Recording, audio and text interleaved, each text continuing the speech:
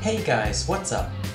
Federal officials are investigating a YouTube video posted on Sunday that shows a law enforcement officer grabbing a recording device from a woman's hand and smashing it on the ground. The video, recorded by a bystander, shows three US Marshal Service agents standing in front of a house in South Gate, California. They were investigating a biker gang meeting at a bar in the area. A woman appears to be recording the officers.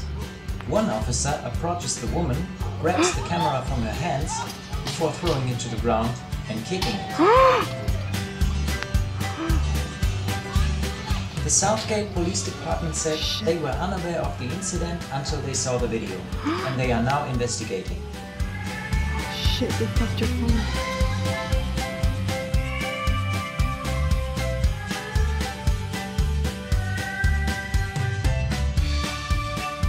Okay guys, if you like this video, don't forget to give us a like, comment below and make sure to subscribe to our channel for more crazy stuff like that.